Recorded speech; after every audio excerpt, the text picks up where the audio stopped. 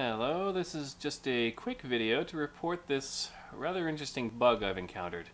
This is in the Scarlet Halls. Now if you look very carefully, you notice something odd here. What is this?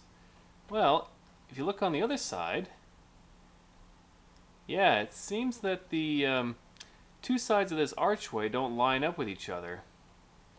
If that's not strange enough, if you try to walk in here, I end up outside in a wide open field. That seems to go on forever. If you look back here, I'm outside the Scarlet Monastery. At least outside its model, everything all looks kind of weird. Let's see. I can even mount up here. And if you look around, I can see some bits of the Scarlet Monastery, and um, yeah, if I ride out here, the field seems to just stretch on forever. That's kind of weird. Also kind of lonely and eerie if you think about it. Well, and, uh, well, there you have it.